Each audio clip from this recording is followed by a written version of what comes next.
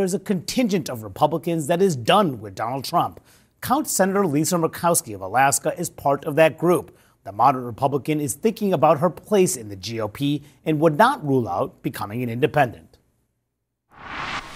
I don't think that it can be defended. What happened on January 6th was was a was an effort by by people who stormed a building in an effort to to stop a an election.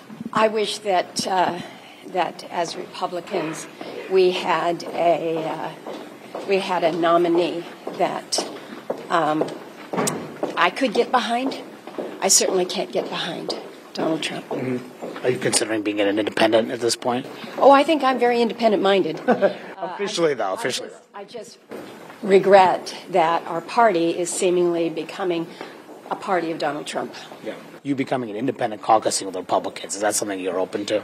I, I am navigating my way through some very interesting political times. Let's just leave it at that.